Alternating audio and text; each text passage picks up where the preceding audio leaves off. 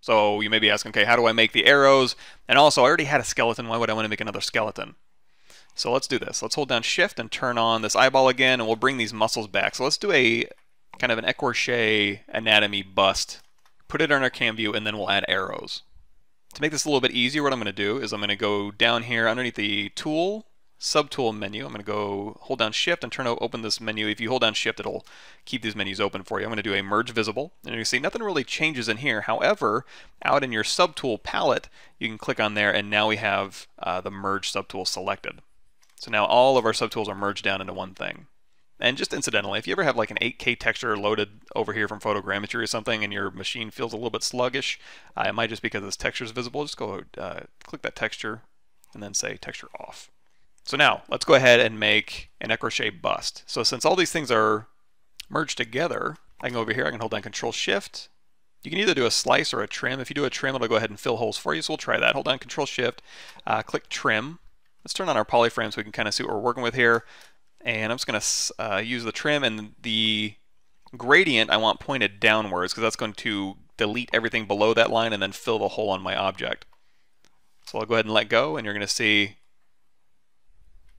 this is the result we have. And if we turn on our polyframe, we can see we already have polygroups for, if we hold down Control Shift and we'll switch back to select rectangle, we can isolate the skeleton, we can isolate the muscles, and Looks like there's a muscle in there that's supposed to be green, or that's green in there. Let's make this so that I can select every single thing on this face here.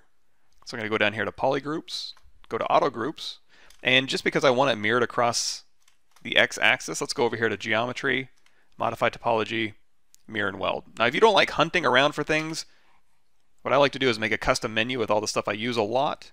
If you want more information on that, just go to my YouTube channel Go to the new intro for ZBrush, ZBrush for Ideation playlist that'll walk you through the basics. Uh, you can also grab that and a whole bunch of other stuff on my Gumroad and Cubebrush videos if you would rather download them. Uh, but the first section for that will take you through the real, real basics of ZBrush. So now you're going to see I have a poly group that's mirrored on both sides. And let's go ahead and hit X to go across the X-axis underneath my transform menu. There's activate symmetry across the X-axis. So I can hold down Control Shift and I can isolate these little skin depth markers here and I can control shift drag. So if you want to get rid of anything, like, you know, if you didn't want these markers on here for some reason, you can just hold down control shift and then try and touch the verts of these. Some, sometimes it's going to be a little bit difficult and you may grab something you don't want. Not a big deal.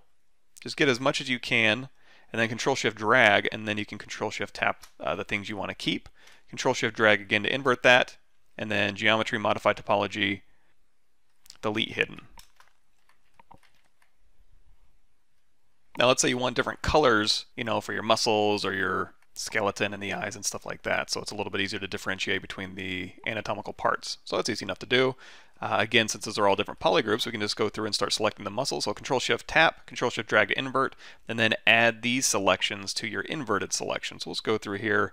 And if you wanted to like separate the cartilage and the ligaments and stuff out on their own, you could do that. I'm just going to take everything but the skeleton essentially.